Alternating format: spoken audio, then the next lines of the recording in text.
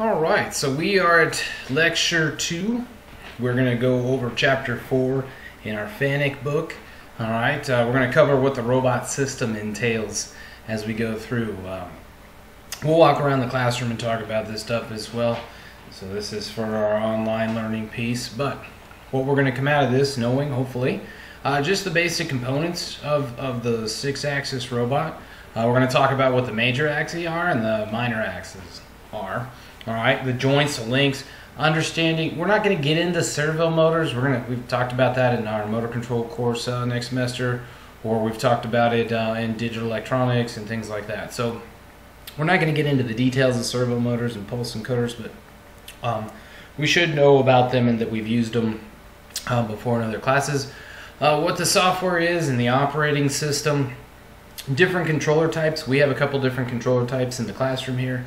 Uh, make sure we kind of understand, you know, what, what happens in the differences on some of the major uh, panels.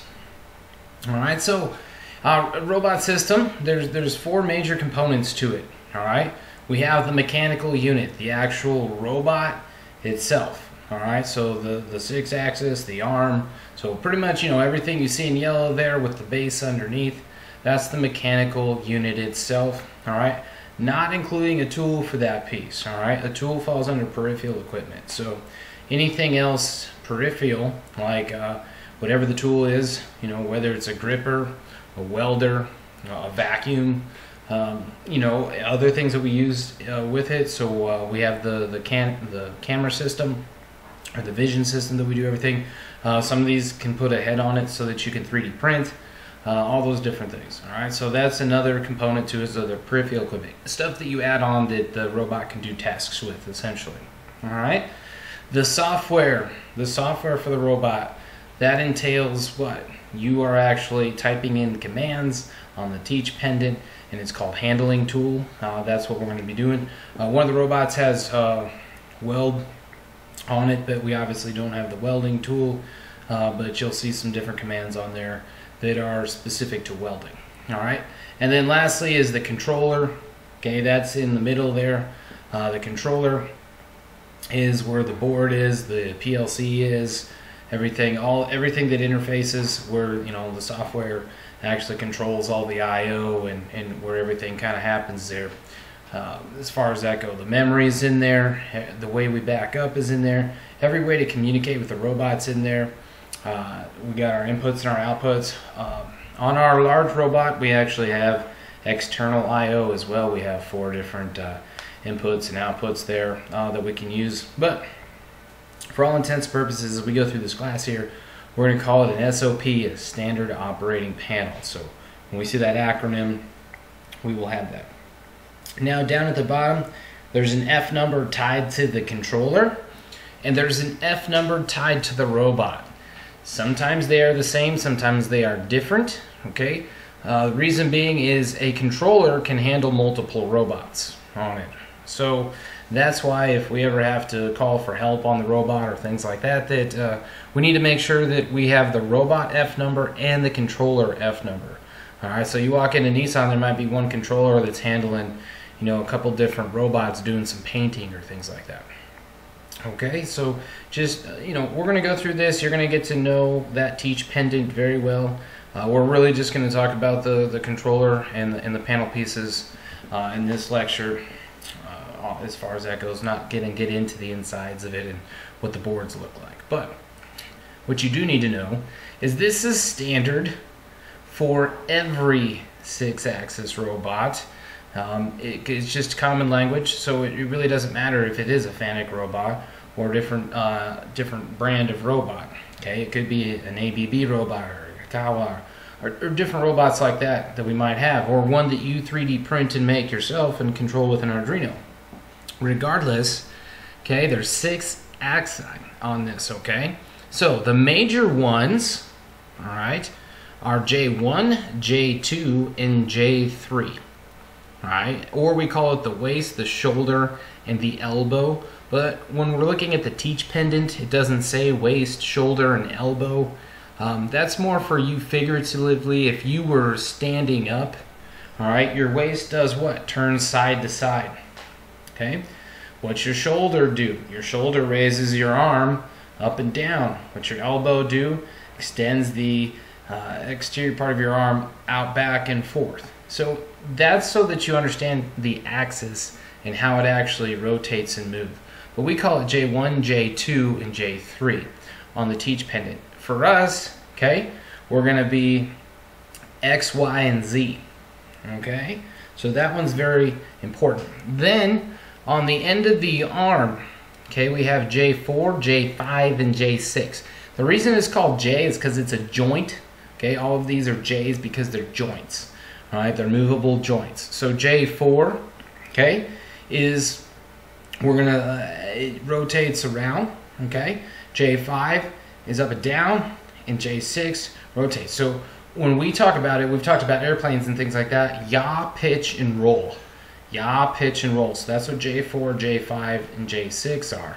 Just like controlling an airplane with that piece. So, and then on the faceplate, that's where we're, we're going to put the actual tool head. So we're going to have the grippers or the vacuum suction cups or whatever else uh, we got going on there uh, that we can work with. So those are the minor axes, all right, or axi, however you want to go with it.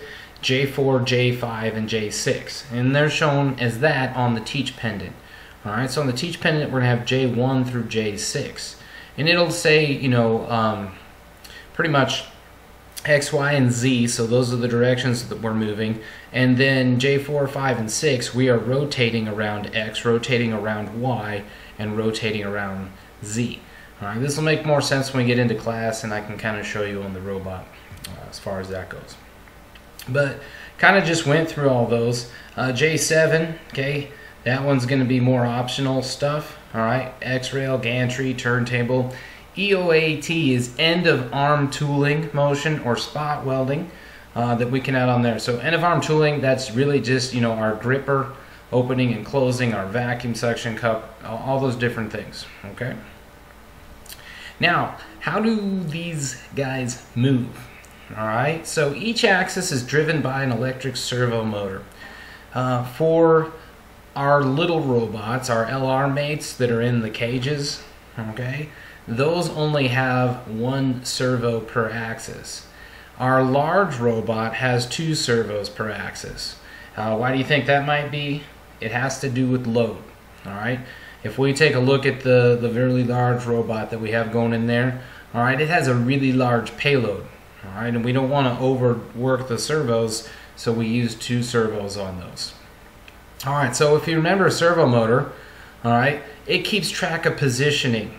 So with a servo motor, we can keep track of X, Y, and Z, and we can record where X, Y, and Z are. So we can use it to hold a motor in place as well.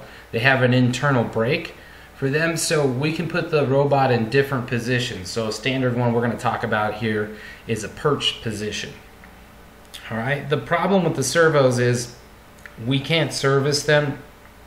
So if the motor does go back or the internal brake or go bad or the internal brake goes wrong, we have to replace the entire servo. Uh, there's no way to go in and and fix it and repair it and that sort of thing. So it might be a little bit costly. And we'll walk around and take a look at the robot so you can see where these servos are, what they look like, all right? Uh, some of you guys, we've already done this stuff with Arduino boards and been able to control some servo motors and, and do that. So we can control speed. Remember, ser servo motors are a closed loop system, so we have feedback. Um, and we know exactly what's going on, and that's how we're able to keep track of our uh, distance, our XYZ, using that pulse coder. All right. This is the pulse coder. So when we walk over and take a look at the big robot, you will see really this just sitting on the outside. All right. So it's a rotary, right? Rotary meaning we're going around.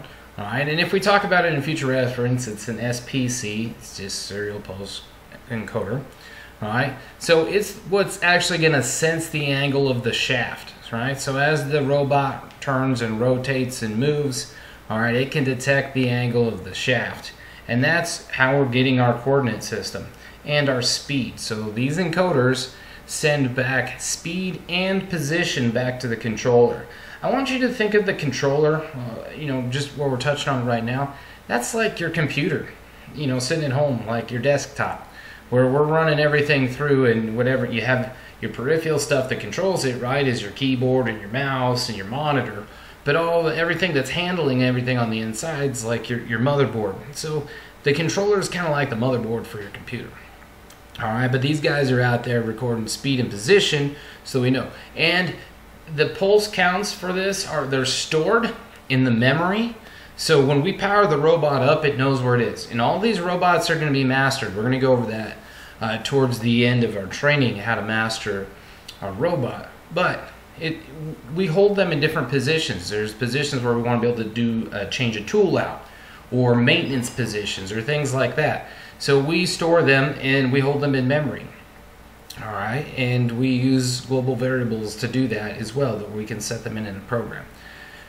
So how does it keep that? Well, when we power the robot down, we actually there are actual batteries that retain the uh, encoders in there. So we just got to be careful uh, not to take the batteries out too long when we are replacing them. All right, they're just C batteries, and they're usually good for about a year for us, or maybe a little bit longer.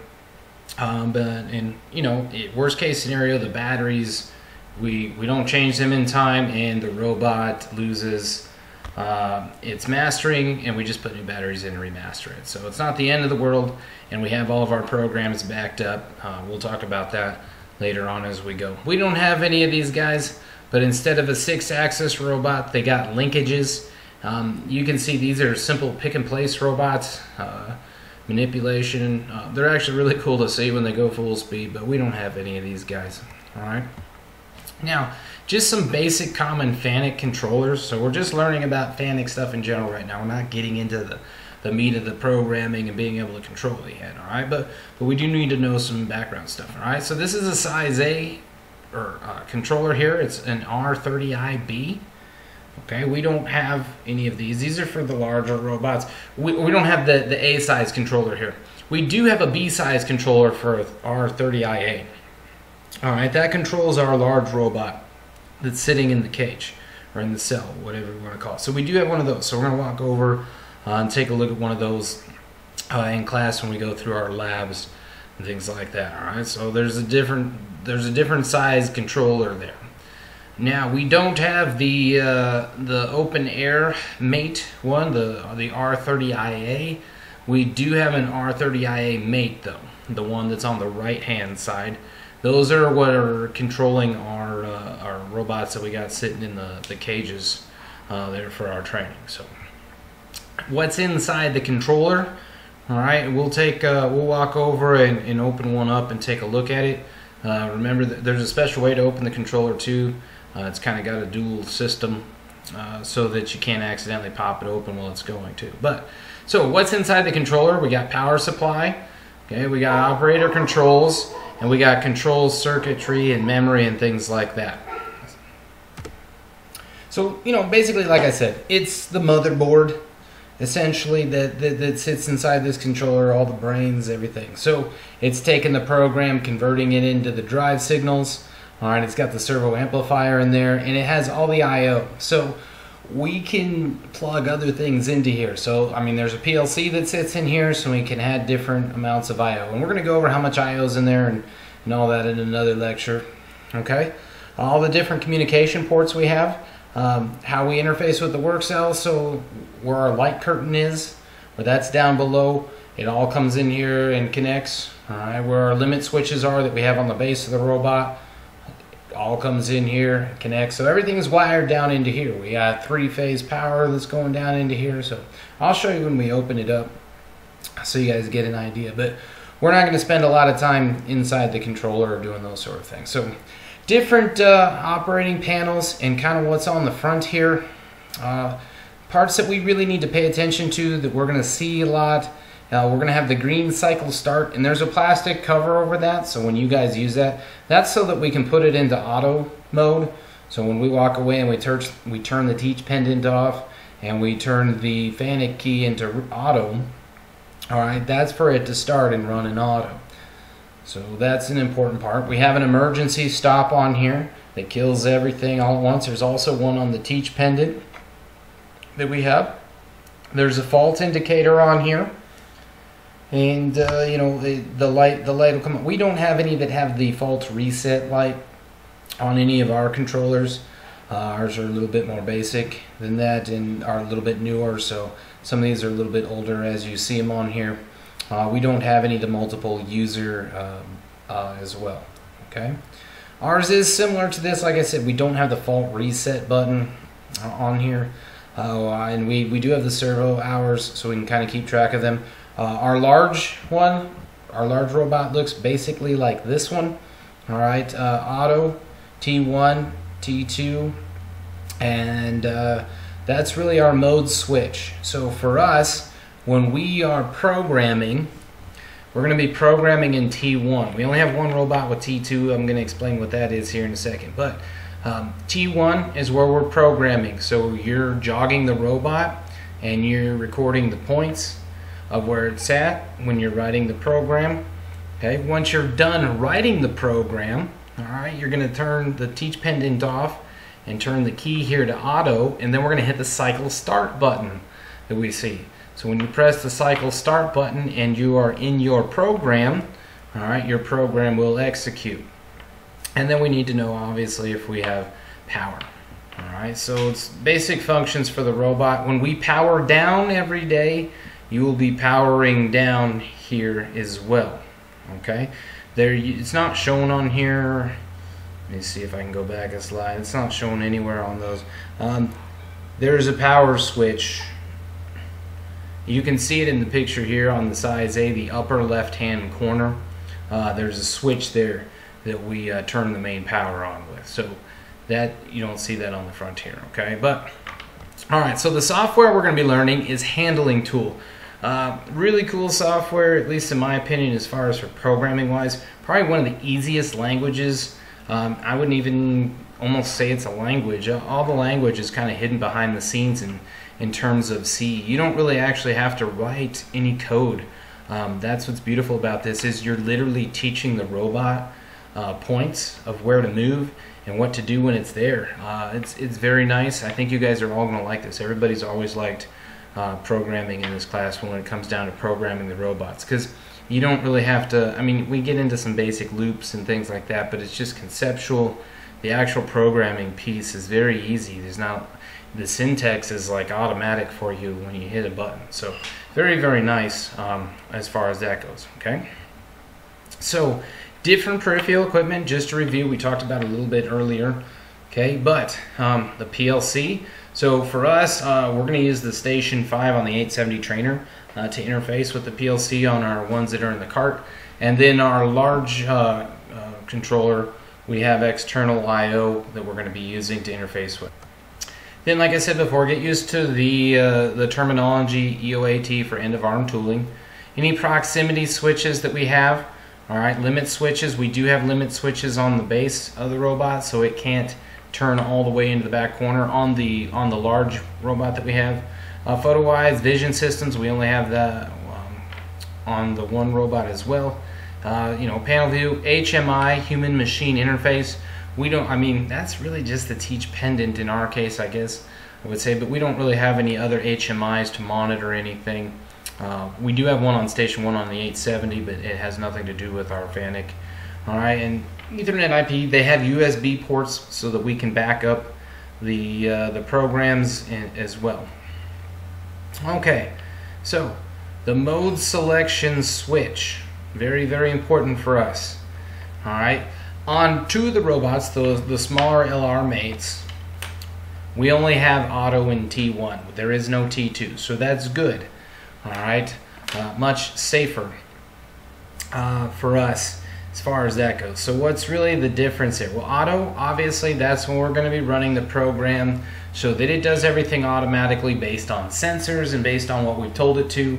Whether we tell it to sit in a loop and wait for something, or it's checking stuff with a vision and, and counting and, and, doing that sort of thing for us, uh, that's all done in auto. T1 is where you teach the robot. You're going to jog it around and record all the different points and based on those points then you can run your program in auto but we can also test it when we go through there. So you can step through your program or you can test your program with the teach pendant in your hand as you're teaching it and it goes at a slower speed. All right, so that's really the important piece here. All right, T1 is test mode 1. Okay, so all the speeds are restricted in T1. So the fastest that thing can ever go is 250 millimeters per second. Still, you know, fairly fast for what we're doing if you're running at 100%. Well, not real super fast, but for what you guys are doing, yes, it prevents you from damaging anything. All right. In the big robot, if you have to be in the cage for some reason, as you're testing something or getting in really close, because you got to make sure that you're where you're setting this tool or what you're actually doing. You know, maybe you're unscrewing a part or something like that. So you might need to be up closer to the robot to see as you're programming. So it's not as dangerous in this speed whatsoever because it's slow enough you can get out of the way or let go of the, the dead man switch on the pendant. All right, very restricted even when we go through. Okay, it's 10% of the max speed override. T2, okay, little bit different, okay, only on the big robot. Nobody better use T2 as we're doing it. I want everybody to stay in T1. Okay, test mode 2. The difference is, all right, the jog speed is still restricted. So as you're jogging back and forth between your points, it's going to be still 250 millimeters per second. However, when you test the program and you're in control of the teach pendant to see if the program is going to step through correctly, when you're in T2, it will do it at full speed. And that's where you can damage equipment and do other different things. So we got to be very careful. If you're on the big robot, I don't want you using the T2 mode. Everybody needs to be uh, in, in, T1 because even when you test through and um, even though the, we have the DCS right that restricts the speed for us, still it can go too fast and you might be able to like knock the camera or something like that. You know, it shouldn't be able to even get to the camera, but you just one of those things. Uh, you know, as you're programming, and because uh, some of you guys, when we start you doing different user frames and tool frames, and you think you recorded everything correctly in the right user frame, but you accidentally recorded everything in joint and not in world, and the and the thinks it's somewhere else and it isn't, and all of a sudden it flings the wrong way or rotates the wrong way you're going to have issues. And that's where it can kind of come into that as well. So just know we're going to stay in T1. That's where you're going to teach the robots, so it's in restricted speeds. And then when we test all of our programs, we're going to be using auto.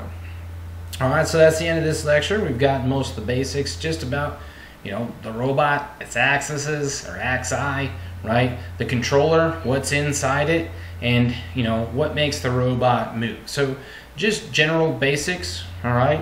And understanding how we interface with the robot and what we're interfacing with.